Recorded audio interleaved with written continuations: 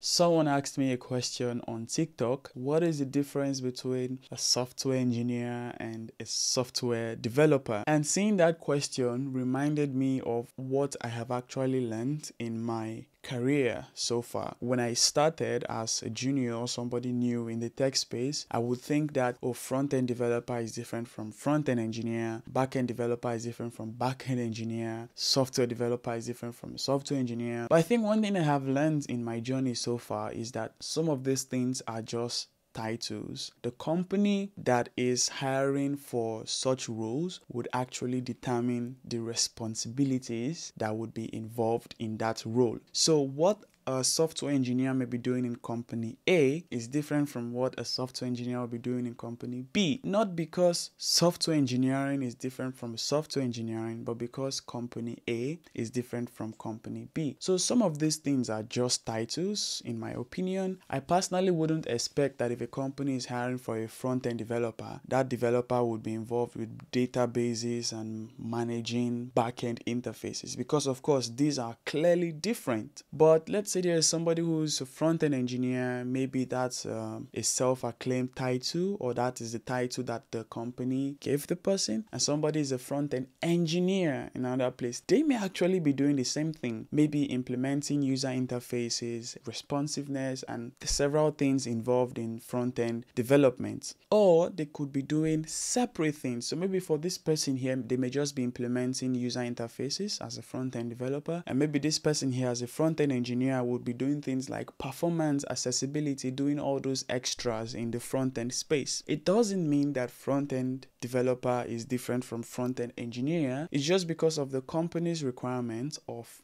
this roles. So whenever you see a job opening like maybe front-end developer or front-end engineering, instead of going to Google to check what is the difference between these two, just check the job description. The job description would let you know what a front-end engineer would be responsible for in that company or what a front-end developer would be responsible in that company. Some of these things are just titles. For example, developer advocacy. Now I've seen this actually happen in real life in so many cases, how company A does developer advocacy will be different from how company B does developer advocacy. Even technical writing, think of any title, how company A does it will be different from how company B does it. It doesn't mean that if I'm working in company A as a backend developer, if I am going to company B as a backend developer, I would only expect that this is the only things I have to do because this is the only things I was doing in the company I come from. Nope, it doesn't work that way. This company would define define what I would be responsible for as a backend developer. So maybe here I wasn't responsible for managing APIs. I may be responsible here. Or maybe here I had some things to do with databases. And here maybe there is a dedicated team to databases and I just have to work on all the other backend related um, duties or responsibilities. Some of these things are just titles. So if you're somebody who has